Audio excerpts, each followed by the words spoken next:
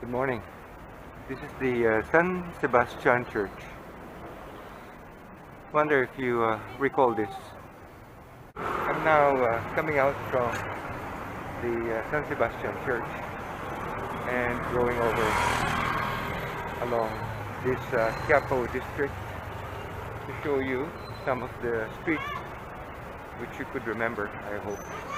See, one of the best things that uh, local officials have been doing since after the war uh, changing uh, street names. And it is so annoying when you try to uh, reconstruct history since you need to do some research what the old names were.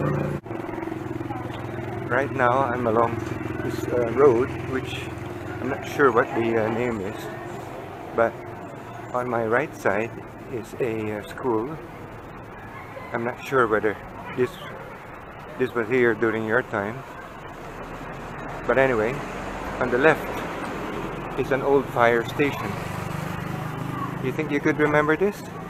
Anyway if you keep going that way that goes to uh, Taft Avenue and the uh, Ayala Bridge. What a coincidence. At the corner of uh, Bilibid Viejo is a is an apartment. Check out the name. It's called Del Carmen La Casa del Carmen building. Huh. It's right across San Sebastian Church. So anyway, so the reason why that building was called uh, Carmen Building is because this place is called Plaza del Carmen. It's across the uh, San Sebastian Church. I'm now headed towards uh, Church along Bilibid Viejo. There's another road on my left side. I'm not sure what the name is. There aren't no street names. Anyway, check that out. Maybe you haven't uh, seen those things before. They're called uh, tricycles. If it's got an engine, it's called a tricycle. But if it's uh, manual powered or it has a bicycle, it's called a pedicab. This uh, street used to be lined up with a lot of old houses before, but a lot of them had been uh, taken down and replaced with uh, new buildings on my left and right. But uh, we're coming towards a, uh, an old building so let's take a, a, picture of this before they remove this someday. An old building. The road is actually a lot higher than it, what, what, what it was used to be. So the old buildings are now lower to the ground. On this side used to be the uh, Carinderia of Carmen, but it is now gone. That property used to belong to the Albertos, where the uh, Carinderia of Carmen is. In, be in between these buildings are small alleyways, and uh, some of them don't have names anymore. So anyway, here it is, one of the uh, some buildings. And you could see that the uh, conditions are really terrible. So there's an alleyway here. The name is uh, Progreso Street. And at the corner is another old building, which you could see the, uh, you could almost touch the uh, second floor because the road is higher. Calix Bakery. A lot of uh, carinderias here. Where you can just uh, point to the food you like and they'll serve it to you. So, I'll move to my right side. So this corner is Maria Carpena. This is where my uh, uh, my grandfather used to live. So over there, that's the uh, Mabini High School before. And this side used to be the uh, building of I just uh, sort of forgot the name right now. But anyway, Um, it used to be an old Jewish family that old that they owned this uh, row of apartments where my uh, grandfather used to uh, rent with. Anyway, I'm back to uh, Bilibid Viejo and if you continue walking to the end of this road that's Quezon Boulevard. Uh, there used to be an old bridge here before and on the left side of the bridge is uh, an old pagoda. I'll show you the pagoda but the bridge doesn't exist anymore. You could still see a lot of the old houses. A lot of them have become dorms, but they uh, seem to be um, haven't been uh, renovated or restored by the owners. So most likely whoever will buy that or these things will just be for the land and uh, they'll destroy these old houses and build most likely condos. This is the old pagoda which is beside the river. I wonder if you could recall this. Well, years ago, you could recall how uh, beautiful this place is. And um, this is just how uh, how it is now. Really tough. Seeing uh, the place we grew in becoming like this neglected. I've actually uh, made a mistake and I thought the uh, the bridge was gone. So there's still a bridge. And uh, you could hardly uh, see the pagoda because it's covered by uh, these trees. This is the uh, right portion of the bridge. It's actually a lot lot cleaner now from maybe 10 or 15 years ago you could hardly see the uh, the river. Just filled with trash and stuff but now really clean. I'm uh, at the end of Bilibid Viejo and I'm now at uh, Boulevard. So this portion has become popular for cyclists. Um, this all of that portion in front of Quezon Boulevard are lined up with uh, bicycle stores so you can see a lot of stuff being sold for bicycles and. So I'm now at Quezon Boulevard. So over there, that's Quiapo Bridge. And obviously you could see, you could still see on that side, that's uh, Quiapo Church. And uh, if you turn to the right, that's uh, going to Azcárraga. It used to be Azcárraga, but it's now Claro Recto. So that building that's a new one. Um, so that's that building is at the, is at the corner of Quezon Boulevard and uh, or Claro Recto. On the opposite side of the road, uh, those establishments, they're popular for uh, military stuff accessories. Recall the story of my mom that during their liberation there was a heavy fight along Quezon Boulevard and then after all the shooting and stuff, they uh, they went with their friends to uh, Quezon Boulevard to observe what happened. And there were a lot of dead bodies, Japanese, uh, Filipinos, and Americans. And she would say that she uh, felt so bad for the American soldiers because they they were so handsome. I always found out about I always found found out that story very funny. So I'm now headed back to San Sebastian Church. Whenever I walk in these places, I always attract a lot of attention. And they'll be calling me uh, or foreigner. Yeah. Right now, I just heard that. That guy just uh, made a comment. Hello vlog, he just said. So that's uh, how it is. I've never been considered a Filipino. By the way, a little bit of trivia. So, Maria Carpena. Did you ever wonder who was who she was?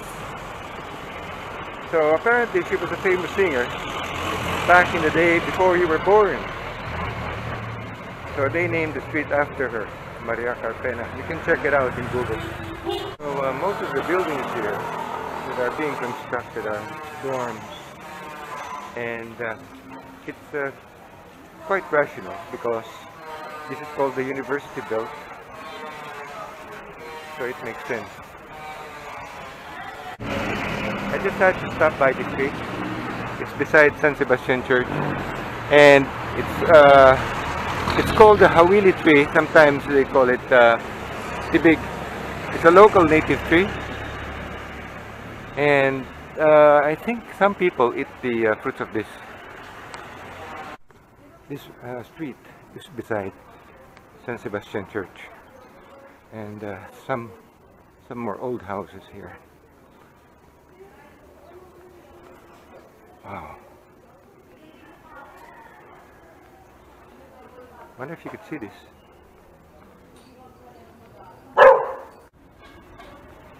This house looks like uh, from the 1960s or late 50s. The end of this road, that's uh.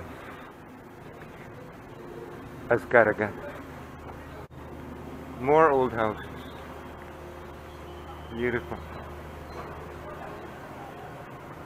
Even the piping of these houses had not been uh, changed. They're still the same ones. Made of steel or wrought iron. I just uh, found out that the name of the road is San Sebastian Street.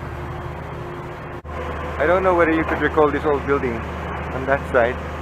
So it looks like it was made during maybe uh, 1950s. Property here for sale. This is how I look when I'm in my uh, motorbike attire. So they call this the University Belt. So a lot of uh, schools are here. So you've got University of the East, which is in front of me. That's University of the East. And if you go that way, that goes to the Divisoria. And this, you see this uh, uh, railway transit. That space used to be uh, the Tranvia or the cable car, which they removed in the 19 after the war. I decided to cross here to the opposite side so that I can go to Legarda. I'm now crossing to the opposite side. Now, this is a rare occurrence. Usually they'll run you over. Uh, cars don't respect pedestrians here. So you better be on the lookout every time you cross the roads.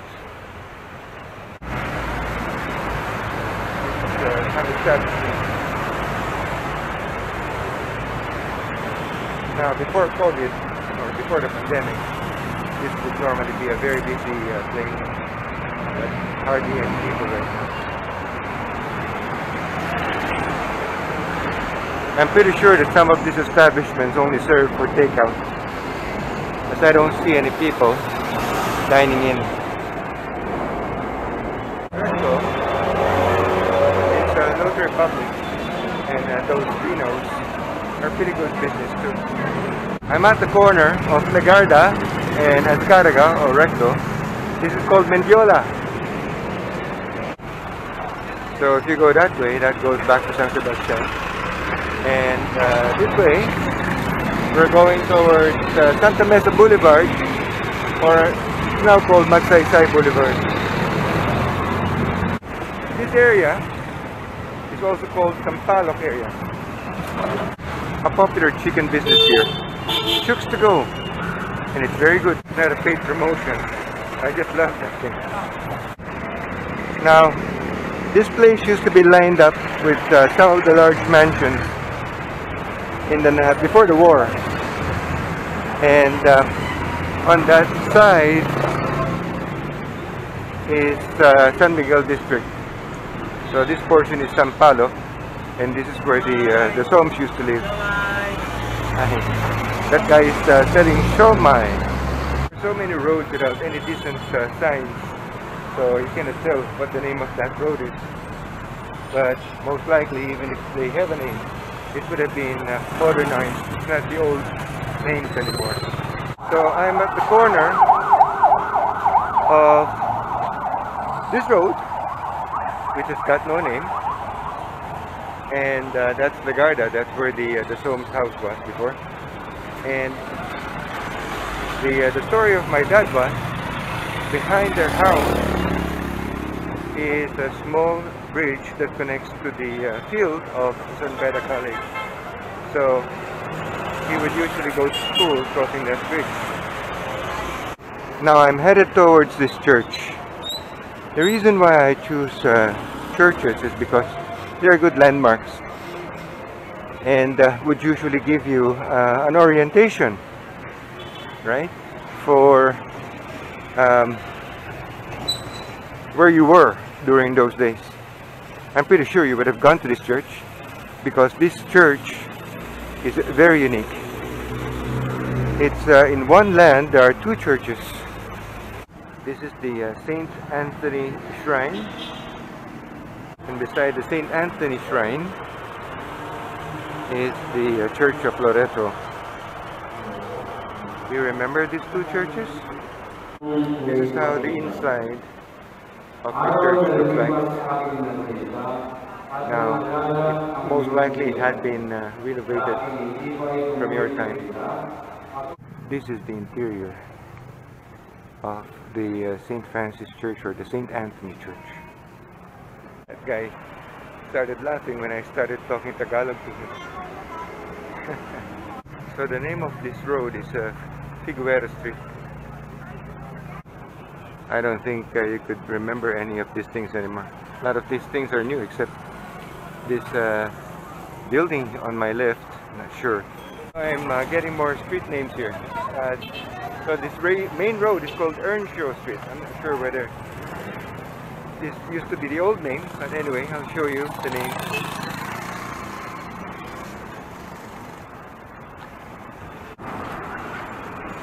Anyway, if you keep walking that way, you'll come out in España.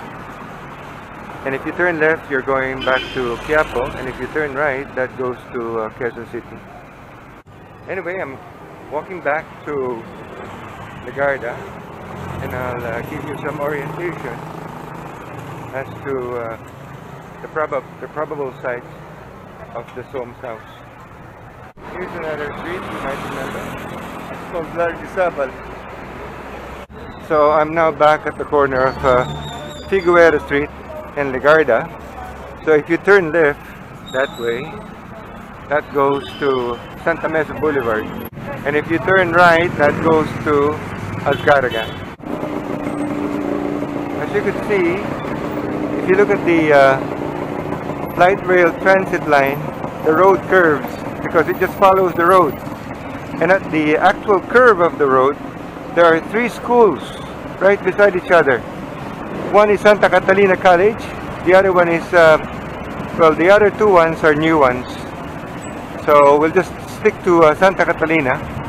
Maybe you might remember or recall uh, any uh, if you remember that school. Anyway, so right behind one of these schools is the field of San Beda. I'm now heading back to Azcárraga to uh, stop by and uh, buy some of this stuff. It's a favorite, personal favorite of mine. It's called uh, cinnamon bread. And uh, normally you can buy this in, in Baguio, but uh, some stores or bakeries in Manila sometimes bake them as well. I'm now back at the corner of Legarda and Azcárraga, now recto. So this is it. So if you go that way, it goes to the Divisoria and we're going to go to uh, San Beda College. At the end of this road is Malacanang. But uh, normally they have a gate and uh, it's usually off limits to the public. Let's hope it's open and uh, we could see Malacanang. So as you pass through these gates, there are several schools here. On my right is Centro Escolar University. Beside it is uh, La Consolacion College and here it's San Beda College which is now San Beda University yeah unfortunately the uh, the gate to Malacanang is still closed beside Malacanang is another church it's called San Miguel Church and uh, the reason why it's called San Miguel Church is also because uh, San Miguel District Yep, yeah, those people just called my attention again. guy said uh, foreigner. Ah. And normally it takes a lot of explanation. Usually ends up into a discussion how I end up looking this way. Here's another creek. So in Manila they call this Estero. So you could see that they made a path so people can uh, walk along the Estero and it's not finished yet. How I wish I could describe to you how it smells like. One of the biggest blunders that administrations have done and um, not reconstructing the mass transport system. PNR, the railway, and uh, the Tranvia or the cable car. And uh, that's the jeep that replaced the uh, the cable car or the Tranvia. And the jeep had always been has always become the uh, the symbol of uh, resourcefulness, but also another source of traffic. They're called sidewalk vendors. I'm now heading back to uh, San Sebastian Church. Uh, my vlog. Uh, on my left, the reason why I got these uh, small hangers on my bag, I can stuff that I buy. So that's my uh, cinnamon bread. So uh, three pieces of uh, cinnamon bread for around uh, less than 40 cents. Yeah, about 35 cents US. And it's best with a cup of uh, coffee. So I'm now heading back to my motorbike which is parked inside the parking lot of San Sebastian Church. I'm back on my steed. I'll be going back home and uh, try to upload this today. Hope you enjoyed the vlog of Manila and uh, I also hope that maybe some of the places I showed you would have uh, refreshed your memory. I'm on my way home now. Now, behind me is España, and if you go over to that direction, España now becomes uh, Quezon Avenue. So, this road here, that goes to uh, where we used to live. That's now Rodriguez. And uh, over to that side, that goes to Bonifacio. We're going to Caloocan. This place is called Welcome Rotonda. This is the uh, hospital I was born in. Santa Teresita. Another trivia of España. The reason why they cannot change the name is because there is a uh, an agreement between the government of before and when they developed the Sampaloc area that they couldn't change uh, the name of España eternally. I actually saw an old uh, road sign. So the name of this road used to be uh, Laong Laan, which is now named Rojas. So I just crossed that road. That's uh, Banawe. This is the uh, place where the older sister of my mom lives before.